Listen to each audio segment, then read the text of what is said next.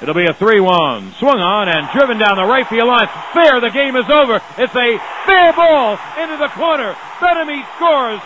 Johnny Damon gets his sixth hit of the day. A ribby single. Ball game over. Yankees win. The